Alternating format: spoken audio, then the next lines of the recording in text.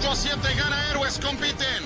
Cassandra por azules, Carmelita por los rojos, listas. 3, 2, 1. Y aquí vienen. Héroes contra titanes con la fortaleza de promedio. Esto puede irse al límite. 8 a 7 por ahora. Pero apenas concluye esta carrera. Va a haber una elección por cada equipo, una elección por bando. Y ahí cada uno suelta a su mejor integrante y tratan de poner en la pista al que consideran menos fuerte, al más asequible. Así es que cambiará la configuración estratégica. Cassandra lo sabe.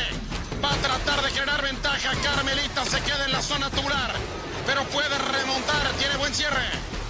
Cassandra, la mujer, la competidora con más puntos del equipo azul en las últimas semanas. Es un alarde de consistencia. Por algo se forjó en el básquetbol profesional. Sigue activa. Y un saludo para todas las mujeres basquetbolistas profesionales en México que se atreven a seguir su sueño, que se atreven a vivir de su pasión y de su deporte, tal y como lo hace Cassandra Asensio. Y va a tener tiros extra. Carmelita a la trampa de lodo. Tira Cass. Va por el segundo. Ya hay ventaja. Lanza Cassandra MVP. MVP 9 a 7. MVP 9 a 7. Buscando sacar el del lado izquierdo. Solamente un cubo derribado del lado azul.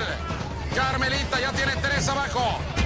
Cambia técnica así por debajo. Cambia técnica así por debajo.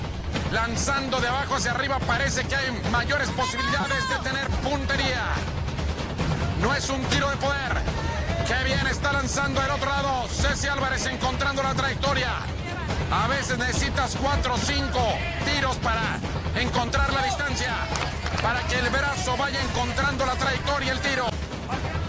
Buena oportunidad. Va a tratar de